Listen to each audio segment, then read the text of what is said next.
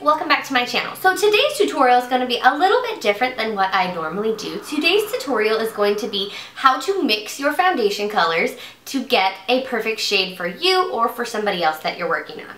So you, you can say you have two different colors, one more tan, one more light, or one really dark, one really light, and how you can mix them up to create a shade that's going to work exactly for what you're looking for. Let's just get started. The first one we'll start off with has been actually what has been my most favorite foundation combination yet is my taking one that is a full coverage foundation. This is the Estee Lauder Double Wear and this is in the color Dusk. Now this is far too dark for me. This is the L'Oreal True Match and this is in the color, this is in the color Natural Beige W4 which is far too light. This is like porcelain. So you want to make sure you always have this in there and always have one of these. Now, you don't always have to have it. You want to, those are just tools that can help you. And you can also use the back of your hand, which I used for quite a long time until I had a actual, you know, metal mixing pan. So what you want to do is you want to take the Estee Lauder Double Wear and you want to uncap the L'Oreal True Match and you're just going to want to pour some on your little mixing. Now, you, if you get too much, just scoop it back in there like I did. So you have this one on there, which is a lighter coverage, and then this one, which is a darker one. And so you can just put it on the side. So you can see clearly there that this is light and liquidy and this is dark and much thicker in consistency. So what you want to do is, I just prefer to take the finger, is you just take a finger in the dark and then you just blend it in with your lighter one and just blend it all over. I am not neat about it. I just blend it all over. And eventually I just blend all of the colors together. Now, this is your initial base shade. This may or may not be perfect for you, but it'll give you a good idea as to whether or not you need to go add more of the dark or add more of the light. So this color ends up looking like that. And um, I will put it on my hand for you of what it looks like when it's blended in. Looks like that. So you might think, okay, that's too light. So you can just add a little bit more of your dark. If you can't tell, it's dark to darken up. What happens is one of these, the Double Wear, is very full coverage foundation and the L'Oreal True Match is a much, much lighter one. So you can just add the two to get kind of a medium coverage. Now, when you have extras of the things, I recommend grabbing some samples from Sephora and they give you samples of foundations in these little tubes right here and I just reuse them when I'm done. So I just clean it out and then you can just open them up like that and then you just scoop up what you had, right? So, or you can use your spatula, which it happens to be right here. Now there wasn't too much actually on here. And then you just put it in there. So the next time you need to use this color, you have it, boom, right there. It's taking a heavier coverage versus you want a little bit more luminosity in your makeup. So next up is the Kat Von D Lock It Tattoo Foundation and this is in the color, what color are you? L48. And then taking the L'Oreal True Match Lumi and this is in the color Neutral N1 2. No, that's not right. This is in the color Soft Ivory, Classic Ivory, Neutral. I don't know, why did they make it so hard? This one just has one name. So you want to take, do I want a heavier coverage with a little bit of luminosity or do I want a lighter coverage with just a little bit of heavier in the places that I have problem areas. Decide what you want and then go from there. So if you want more, I'm gonna go with more, I want a lighter coverage with just heavier spots. So I will start off with the Dream Lumi. I don't really like this by itself, but that's a whole separate video. So you take a little bit on there and you can see it's more liquidy. It starts to run. You can see it running down the pan.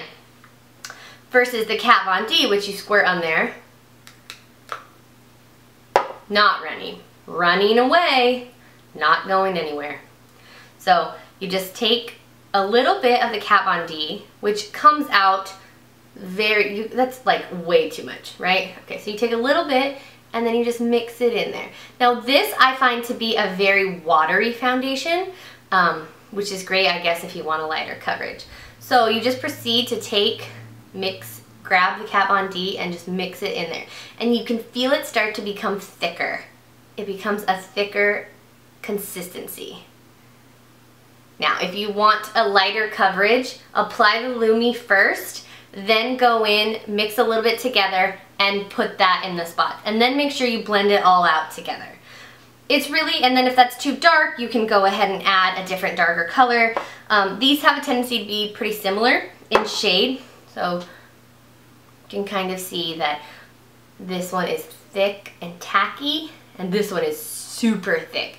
The Kat Von D dries really fast, really, really fast. I always recommend when you're using the Kat Von D foundation, you always take one side of your face. Do one side of your face first. Don't put it all over and then think, oh, I'll just blend it. Do one side first. But again, not a review on the Kat Von D. So next up is we are going to take the Makeup Forever Flash Palette and we are going to create a foundation shade. Obviously this thing is well used, there's different colors and different things, but what you want to start off with is you want to start off with taking just a darker shade. I'm clearly not brown, but you will lighten it up or darken it up however you need to do so. So you just kind of get in there, make it, you want to warm it up first so you can use it. But this is where your spatula is going to come in handy because you are not going to be able to just grab that out. It's not liquidy at all. You want to get some on your spatula. So you just take it and you just put it on there. There. To lighten it up, you will take white, which is this color right here. I recommend doing it on two different sides. So you don't want to put it in there because what if now it's too light? You have to go, you go back and forth. So you can use your finger or spatula or whatever you want to do. You just take the white and you start mixing it in with the brown. And do you see how it's lightening up already? You want to make sure you get it all in there.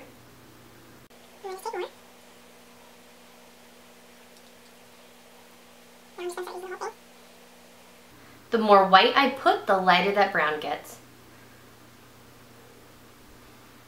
So now, instead of being a deep dark brown, it's more of a chocolatey brown. So you just, this takes a little bit longer, unless you know exactly what you're doing. So if you're more on the fair side, you'll start off with white and add in brown. So again. Get it to be a different shade. Now we're in more of the tan range. I have added yellow. See? I added yellow. And now it's definitely more in the tan range. So this is like an art project for somebody who's completely a pig like I am.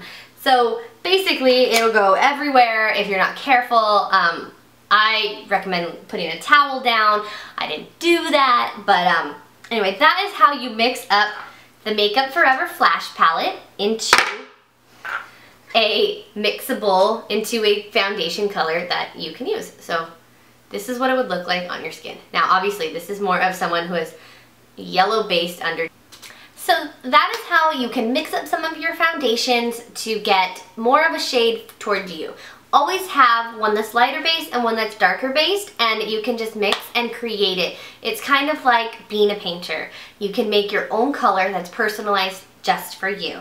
You'll always want to have a darker shade and a lighter shade and then you can work it in to make the perfect color just for you. And this will prevent you having to go out and buy another one or exchange it or whatever. So if you're in a rush or in a pinch and you've got really tan or you are suddenly a lot lighter, which seems like you would be more tan, um, you can create your very own makeup shade just using what you have in your house. Thank you for watching and I'll talk to you guys in my next video. Bye!